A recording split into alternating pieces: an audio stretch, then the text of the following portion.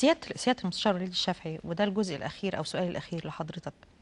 بالرغم من قناعتك اللي أنت قلتها على الهواء بشكل مباشر إن أنت شايف إن السلطة الحاكمة دلوقتي والإخوان المسلمين ضد القانون أو لا يحترموا القانون إنك شايف إنه اللي بيحصل ده شيء غير مقبول على الإطلاق إن أنت ضد تخفيض سن القضاة لأنها لأسباب سياسية آه، إنك شايف إنه في اقتراء و...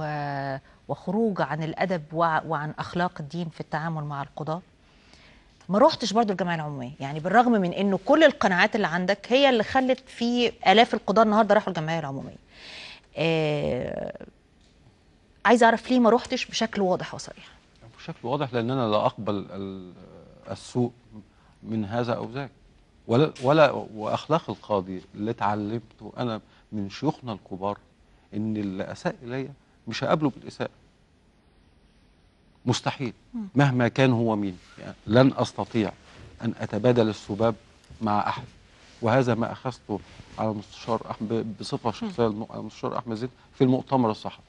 وهذا ما جعلني آه، آه، أقرر ألا أذهب إلى هذه الجمعيه حضرتك شايف إنه إنه جسم القضاء والقضاة وآلاف القضاة اللي, اللي موجودين اللي بيدافعوا عن عن مبدأ مش بيدافعوا عن عن مصالح شخصية إيه إن هم على أرضية صلبة من غير ال- من غير ما التراشق. تبادل التر- ترشق السباب. لأن ليه ليه على أرضية صلبة؟ إيه إزاي؟ لأن طب- ما السلطة القضائيه ما السلطة اللي موجودة دلوقتي ما ممكن مجلس الشورى ده يطلع القانون؟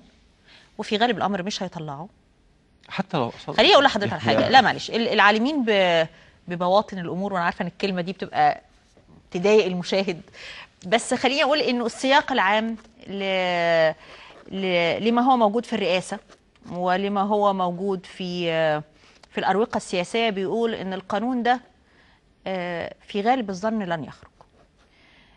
إنما بتناقش يعني حالة التحدي موجودة. يعني حالة الصراع موجودة حالة الصدام موجودة افرض افرض هم طلعوا القانون دلوقتي وقالوا خلاص إحنا طبقنا السن وخلاص هتعملوا إيه؟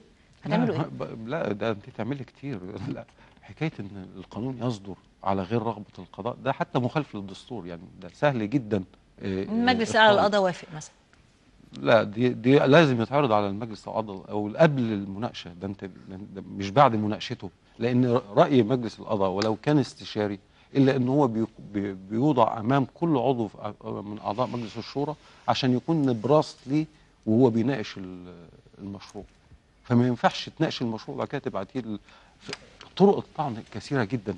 أنا شوفي أنا مستعد آه لتخفيض السن للخمسين عشان أطلع السنة الجاية. يعني دي دي حاجة أنا يعني شوفي مفيش مخلوق على وجه الأرض بيجلس على المنصة ليحكم بين اثنين في خصومة وهو سعيد وفرحان ويا ما هنا ويا ما هناك وحضرة القاضي وسعادة القاضي. كل الكلام ده أنا أنا أنا أقتنع تماما إن الوظيفة بتاعتي دي مسؤولية خطيرة جدا ولابد أن أكون أتحمل اعباءها فما يشغلنيش إنها تذهب عني في أي لحظة حتى لو اتفصلت بكرة الصبح. كل الكلام ده لكني يشغلني إن كيان القضاء ده كله يبقى كيان متين. متين من الناحية الأخلاقية متين من الناحية الفنية متين من الناحية المد... من كل النواحي أن القاضي لا يخترق ولا ولا يجر إلى البذاءه أو ال- أو سوء القول. مهما كان مهما كان اللي قدامي فحش وقدامي كذا مستحيل أنجر لهذا المستوى ابدا. ده اللي يشغلني كقاضي. لكن حقي أنا أعرف أخد حقي كويس جدا. من أي نظام؟ حتى لو لوحدي. حتى لو قاضي لوحده. يستطيع أن ياخد حقه تماما لأن أنا عشان عشان أدي للناس حقوقها لازم أكون أنا قوي أصلا. فموضوع إن إن أي إنسان على وجه الأرض يعتقد أنه يستطيع أن يرهب القضاه فهو واهم.